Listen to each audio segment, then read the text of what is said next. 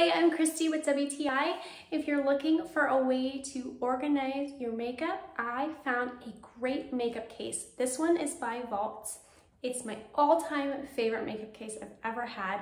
One thing I really love about this is inside the makeup case, it's divided down the center and then you have two inserts that you can customize the width to.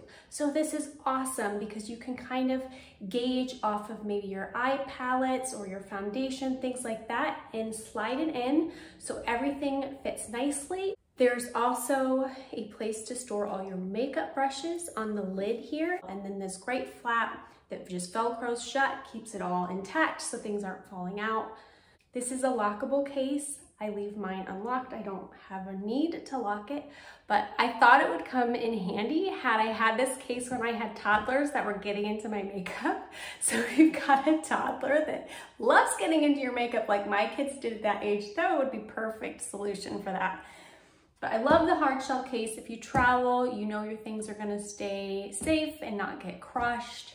I love the black and white stripe pattern, but this is a fabulous makeup case. If you're in the market for one, I know you'll love it, so pick it up. But that's my point of view.